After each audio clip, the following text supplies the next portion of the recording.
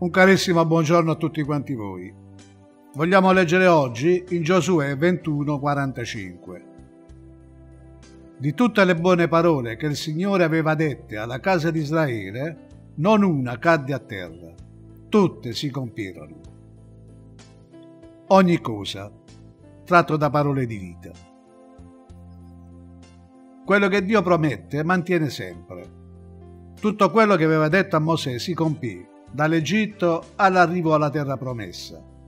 Ogni promessa del Signore è una certezza che si realizza nella vita di chi crede in Lui e ha fede che la sua parola è verità.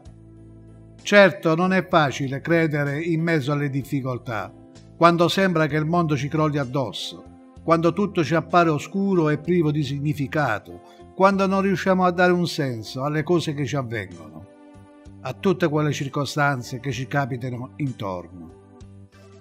Spesso a parole riusciamo a dire di avere fede e di fidarci di Dio, ma all'atto pratico si viene meno perché non si vede umanamente una via d'uscita alla nostra situazione. In quei momenti Solo la nostra fede nel Signore può venirci incontro. Il nostro carattere, il nostro modo di essere possono essere un ostacolo alla realizzazione delle promesse di Dio per la nostra vita. Per ricevere bisogna credere.